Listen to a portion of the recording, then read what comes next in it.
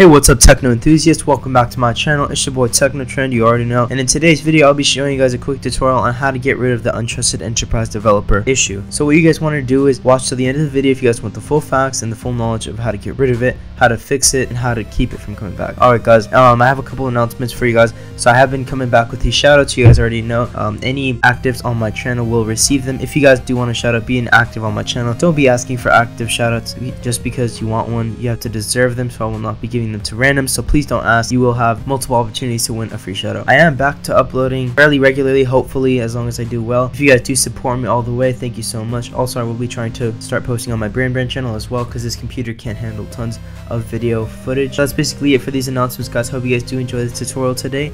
Hope you guys do enjoy. Smash that like button and also leave that subscribe for me and the notifications turned on. Let's get started.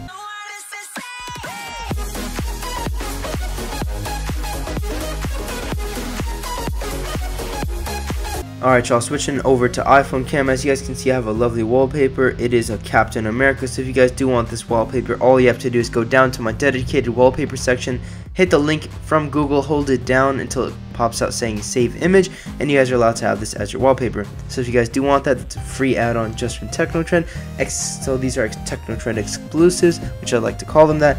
Also, if you guys have any questions about these wallpapers, I'm pretty sure I do have a list for them, so you can have some cool superhero wallpapers. Alright, so step number one, make sure you guys have your stuff installed.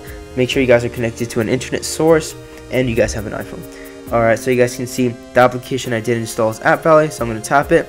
And look, it says Untrusted Enterprise Developer. Now, there are two issues there could be. So, so there could be two problems. One, you either didn't trust it in settings or it's expired. And basically what that means is it's been revoked by Apple, meaning that Apple decided to take it down and they will have to buy a, brand new developer account just to get this back up and running. But if you guys have just installed it and it says Untrusted Enterprise Developer, all you have to do is head straight to Settings, go to General, you guys can see here, go to Profiles and Device Management, and you guys will see all these types of applications to Enterprise Apps. Tap it, click Trust, and Trust again if you this is the first time you're installing. But if it does say this again, meaning that it has been revoked by Apple. So what you can do is go ahead and erase it. Once you've erased it, you guys can go ahead and install the source one more time. So it could be an app, could be Tutu, App Valley, uh, Tweakbox, you know, all that stuff. All you have to do is reinstall it, and if it still says the same thing, that means it's still revoked. So you will have to wait a day or two.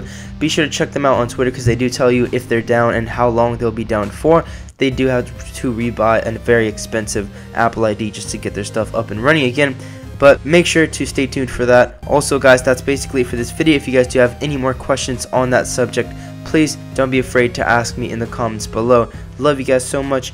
Have a good day. Have a good night